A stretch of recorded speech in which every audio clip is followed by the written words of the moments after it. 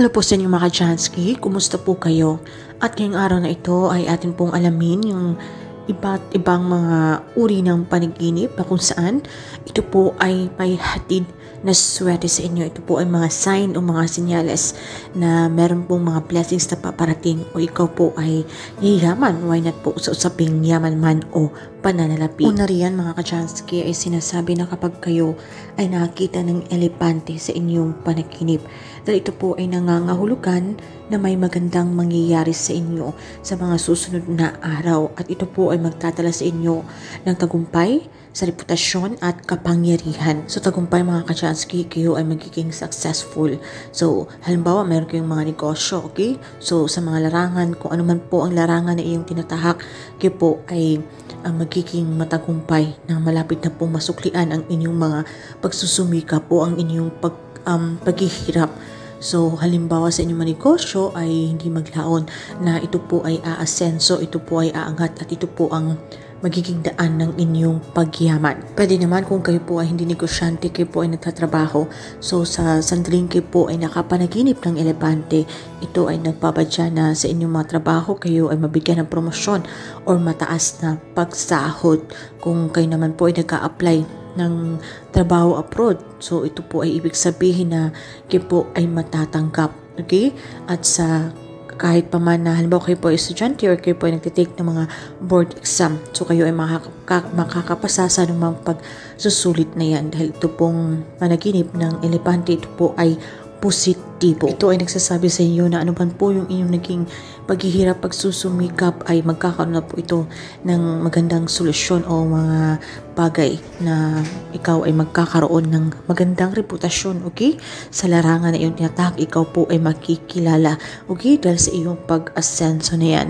So, dapat um, sa sandaling makakita tayo nito, ay agad mo nang i-claim, i-affirm po sa iyong sarili ang sweating darating sa iyo. Sumunod naman na yan mga kachansky ay kapag kayo po ay nakakita ng baka sa inyong panaginip dahil ito po ay um, ang kahulugan ay napaka magandang simbolo nito. Ito po ay tinuturing na isang sakradong hayop na ito po ay darating sa panaginip na nangangahulugan ng isang swerte ay kumakatok lamang sa iyong pintuan. So meron kang mga swerte o mga windfall na mga swerte hindi natin inaasahan na darating po sa inyong buhay na bigla na lamang po siyang darating o kakatok sa inyong mga pintuan mga kachansky. Maaaring ito po ay magandang halimbawa na meron po kayong mga kamag-anak na bigla po kayong pinamana, pinamanahan na hindi nyo po alam or maaaring ito po ay meron po mga taong malaki po ang pagkakautang sa inyo or bigla po itong nagbayad, okay? Na hindi nyo po inaasahan or kung meron po kayong mga sinasalihan ng mga paraffol, nanalo po kayo kung hindi naman kaya ay sa mga lottery, di ba? So, ito po ay talagang um, ang pagpa panaginip ng baka. Ito po ay tinuturing na sagrado at ito po ay nangangahulugan ng swerte sa lalong madaling panahon. At sumunod naman na yan mga kajansky, kapag sa inyong panaginip ay kayo po ay naghihirap, okay, na kayo po ay mahirap na mahirap. So, huwag po kayong mabahala dahil ito po ay kabaliktaran. Hindi po ito isang masamang um, palatandaan or bad omen dahil ito po ay kabaliktaran sa inyong panaginip. So, ibig sabihin nito mga kachansky na sa mga susunod na, na araw kung ano man po ang mga problema nyo. So, sa ping pananalapi ay ito po ay matutudukan na or mawawakasan or makita na po kayo ng solusyon para dito. So, ito ay nagsasabi sa iyo o nagbibigay ng garantiya na huwag ka nang mabahala dahil magkakaroon na po ito ng solusyon, okay? So, kung hindi mo man alam kung paano, ang langit na po ang bahala na siyang gagawa ng paraan kung paano po nito um, ma- masagot ang iyong mga problema sa usaping pananalapi. So, malay mo mabigla ang darating na swerte o uh, tulong mula sa ibang tao, okay? Na para masolusyonan ang iyong problema niya. Sumunod naman mga kajansky, isa rin sinasabi na napakamaswerte na panaginip na ito ay, ay kung ikayo po ay nakakita ng mga gemstone, okay? Sa iyong panaginip, ito po ay tinuturing ng isang magandang tanda na ang ibig sabihin nito ay kasaganaan or abundance mga kachansky. So, ikaw po ay magkakaroon ng swerte sa usaping yaman man o pananalapi. So, ito man po ay kung ikaw ay nag-iisip na may binabalak kang gustong gawin. Okay? So, ito po ay i-push mo na dahil ito po ay nagsasabi sa inyo na ito ay isang good luck sign na kung ano man po yung gusto nyong simulan o yung gusto nyong tahakin ay uh, ikaw po ay magiging successful, ikaw po ay magtatagumpay. Ito po ay nagbibigay sa inyo ng, sign na ikaw po ay magiging successful dito, okay?